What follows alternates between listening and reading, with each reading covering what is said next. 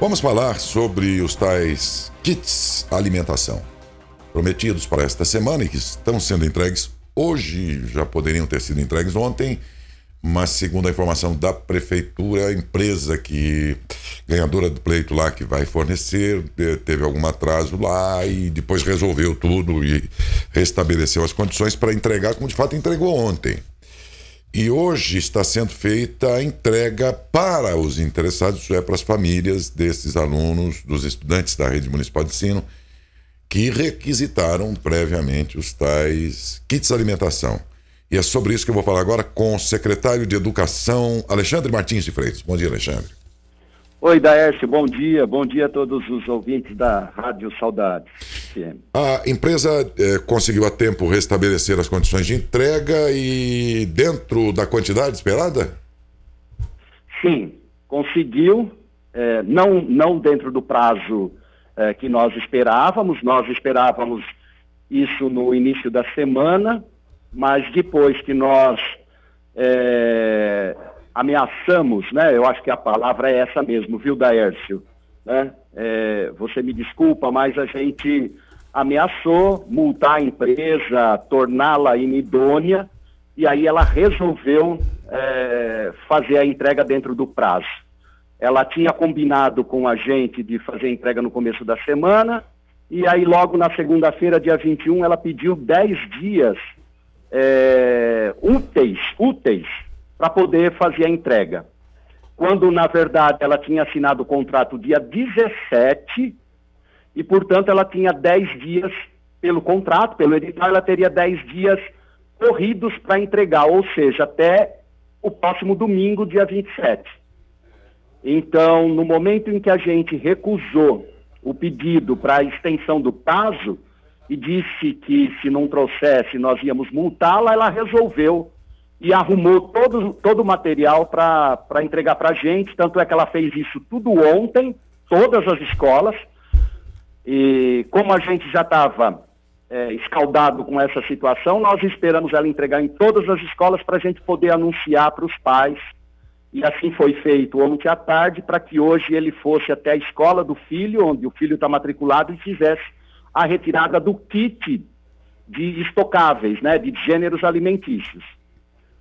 Isso então está se dando, a entrega propriamente está acontecendo hoje. Isto, exatamente. É. Hoje a entrega. Se for necessário, e até gostaria que você me desse esse espaço para poder explicar, Daers, Sim. Né? porque parece que surgiu uma, uma certa dúvida de que nós é, colocamos sexta e sábado e algumas unidades estão entregando hoje, na sexta-feira. Deixa eu esclarecer isso. A Prefeitura, a Secretaria de Educação, disponibilizou dois dias, porque a gente sabe da dificuldade que às vezes as famílias têm para fazer a retirada hum. num único dia né, da semana. Então, nós disponibilizamos dois dias. Nada impediu, nada impede, e eu, eu acredito que os nossos ouvintes entenderão isso, Daers, nada impede que a unidade, dependendo do tamanho que ela tem, ela faça essa entrega com maior agilidade. Eu vou te dar um exemplo. O Lume, ali na, nas acácias, né, ele tem oito famílias para entregar o kit.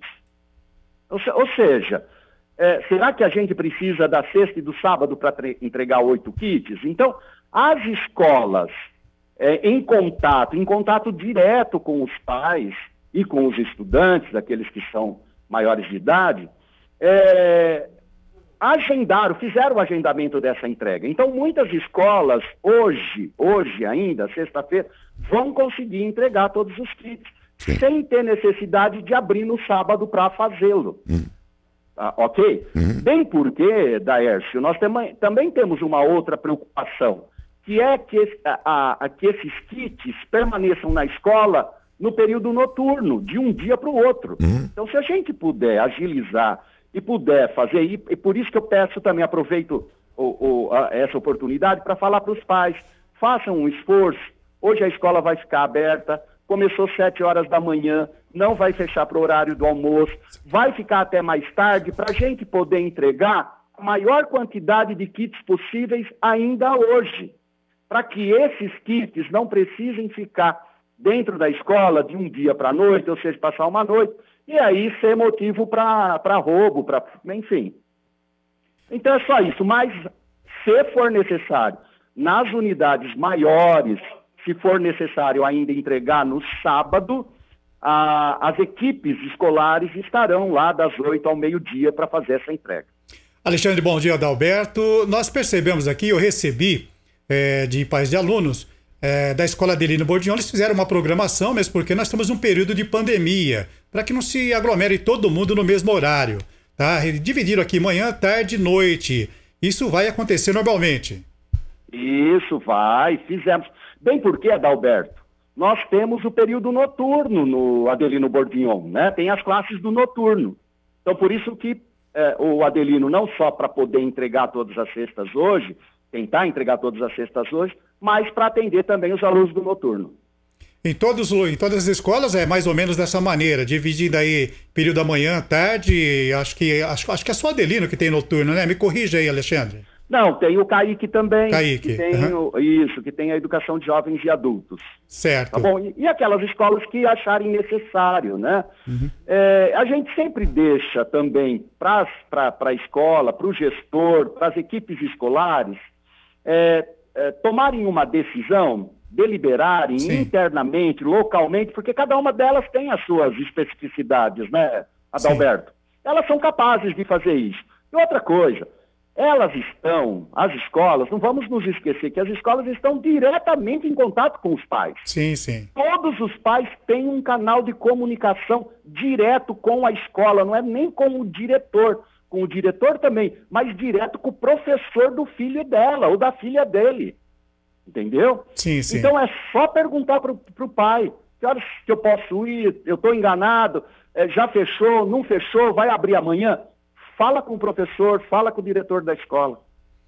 Nós percebemos aí, devido à pandemia, muitos alunos é, estudando online, existe aí um grupo no WhatsApp, né, Alexandre? E através desse grupo Sim. eu estou sentindo aí os, os, professores, as escolas entrando em contato com os pais e passando Isso. essas informações, que já vinha acontecendo Isso. através de outras informações a respeito Isso. das aulas que estavam acontecendo. E agora, nesse momento, com o kit Miranda, foi mandado para os alunos, se o pai não conversou com o filho, converse com o filho, porque foi mandado através do WhatsApp um cronograma de entrega dessas, desses kit merendas aqui para os alunos do ensino municipal. É isso? Sim, isso, exatamente. E eu quero falar do hortifruti. Nós não desistimos, não cancelamos, não. O, a cesta, o kit de hortifruti, nós estamos já negociando com o segundo colocado, viu, Gaércio? e a gente vai entregar, vai tentar entregar na semana que vem. Eu não sei ainda qual é o dia, mas nós vamos fazer da mesma forma, nós avisamos. Mas nós já estamos entrando em contato porque o primeiro colocado, ele veio, trouxe um, uma é, gêneros que é, estavam estragados, por isso que nós não quisemos, nós não recebemos, nós fizemos a devolução e ele acabou desistindo.